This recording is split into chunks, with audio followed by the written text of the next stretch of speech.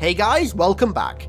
Did someone order a, uh... Halo 5 E3 2013 theory? Yep, today we are finally discussing the Halo 5 E3 2013 trailer. That trailer that ended up having next to nothing to do with Halo 5's story, and the trailer that kept us guessing for almost five years now. Well, today we might have this trailer's first connection to the story, just maybe. Now, I will preface this video with a disclaimer that this trailer might not be canon, and it may have been nothing but a teaser for the potential of Halo on next-gen consoles. But as we all know, pretty much nobody believes this because everybody wants to see Poncho Chief.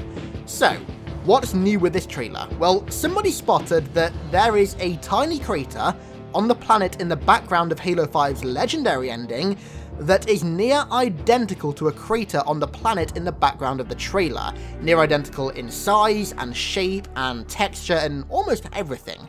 Now, yeah, that does seem pretty minor, right? And well, that detail kind of is extremely minor, but if this detail does mean that it's the same planet, then everything just sort of starts to fall into place. If this is the case, and it is the same planet in the background of both, then it's safe to assume that the trailer is taking place after the events of the Halo 5 story that we got, and Chief is walking on whatever Halo ring we see at the end of it, with his cracked visor that he got during his fight with Locke. The reason that Chief is on the ring with Cortana's chip on his own is likely because he's trying to look for her, to try and stop her himself, or bring him in herself. If this does end up being correct, then it could give 343 an excuse to bring back the Rogue Chief plotline, the plotline that we all wanted in Halo 5 but never really got, where he realizes that the UNSC can't stop her, so he takes it upon himself to do it. But anyways, I digress. The Halo ring that Chief is on, the one in the Halo 5 Legendary ending,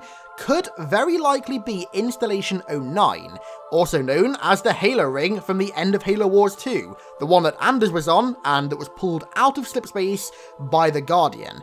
Now, the reason that Cortana sent a Guardian to Installation 09 in particular, and the reason that it could be the ring that she's turning on at the end of Halo 5, may have something to do with the information in the recent Halo loot crate.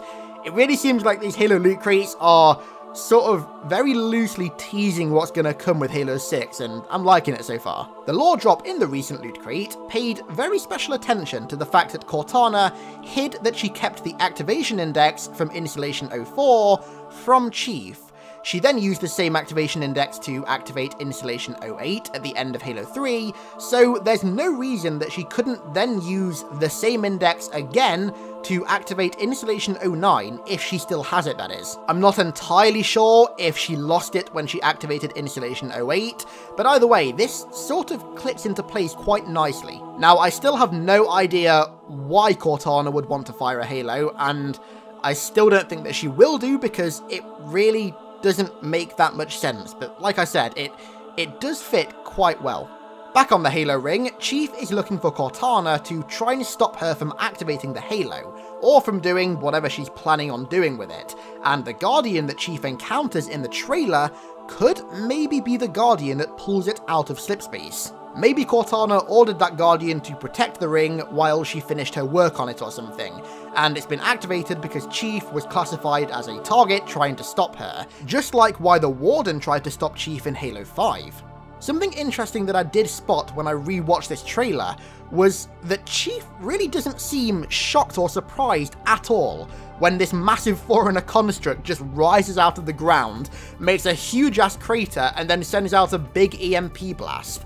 It's almost as if he'd seen a Guardian waking up before, which just adds further support to the idea that this is set after Halo 5. Now, of course, if this stuff is real, then all of it is happening after the events of Halo 5, and considering Halo 5's ending felt very, what's the word, abrupt and unfinished, I think that suits it most, it could mean that this trailer was originally intended to be a sort of loose adaptation of some of the events towards the latter end of Halo 5's campaign, but the part of the campaign that it was meant to be depicting was cut. When we look at the links that this trailer has to the end of Halo 5, like Chief's cracked visor, the planet, and the Halo ring, it does make sense that this could have originally been a scene from the latter portion of Halo 5's story that was pushed back to be used as a part of Halo 6 instead. People have speculated about part of Halo 5's story getting cut and pushed back to Halo 6 pretty much ever since Halo 5 came out, and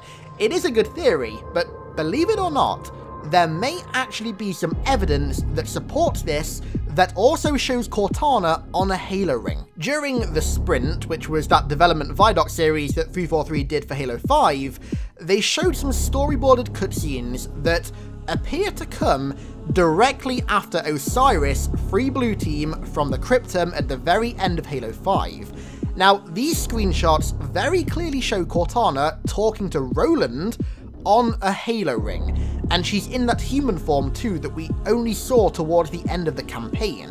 Now, this really adds fuel to the fire that there was originally more to come after what we got as Halo 5's ending, and it does tie together pretty damn well with Chief being on the Halo ring in the trailer, with his poncho on, holding Cortana's chip, and being stopped by the Guardian. Maybe this was a cutscene that was made very early in development and never ended up getting used with the story, or maybe it was just cut from Halo 5 and it's never going to be used again. Who knows, but please, I need you guys to leave your thoughts and ideas in the comments, because I really want to know if we might have just stumbled across something, or if we're reaching so goddamn far and our confirmation bias is so damn high that a similar looking crater means that Cortana is going to fire a Halo ring and that Chief has to go undercover to stop her.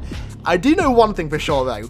This Halo dry spell is sending people fucking crazy. If you ever thought that we didn't need any Halo 6 news sometime soon, then seeing the entire community freak out about a tiny little crater should change your mind. So, thanks a lot for watching, guys. I want to give a huge shout out to the patrons The Ardent Prayer, Alex Agui, Chris G, Jack Madden, Jack Cook Widener, and also everybody else for their hugely generous support. Also, thank you for helping me hit 90,000 subscribers.